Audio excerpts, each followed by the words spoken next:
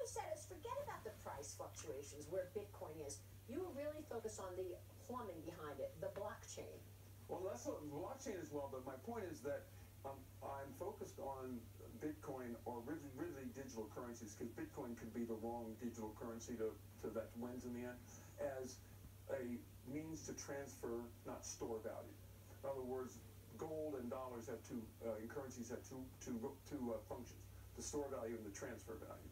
And the transfer of value is what interests me because the Bitcoin technology or the digital currency technology creates the engineering opportunities to really fundamentally change the way we move money around the world. You know, And the blockchain is the ledger for that, but the Right. Bitcoin protocol is the technology that enables that to happen. and the blockchain is basically a trust system. I, I, I trust you on the other side of the Right. trade. You trust me on the other side of the trade. But I could use dollars for that. I don't need a No, well, cryptocurrency, right? Well, it's actually quite the opposite, Maria. It's actually we don't have to trust each other because the blockchain creates a mechanism by which there's a permanent record. So you and I can transact without having to trust each other, which means that all the costs of trust that are in the system today, fraud risk, credit risk, settlement risk, custody risk, payment risk, FX exchange risk, translation risk, all that goes away.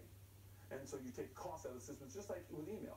And when you take when you took a mail and you got rid of the paper and the envelopes and the postman and all the stuff necessary to deliver, it, and you just made it digits going around the internet at the speed of light, you took all those costs out. Could I? Can I use dollars though? You can use dollars, but um, according to Ken Rogoff, one of the great economists Yeah, of our generation, uh, ninety percent of U.S. dollar bills are used in uh, fraud, uh, in organized crime and tax evasion. And the reason why is because they're bearer bonds. There's no permanent record.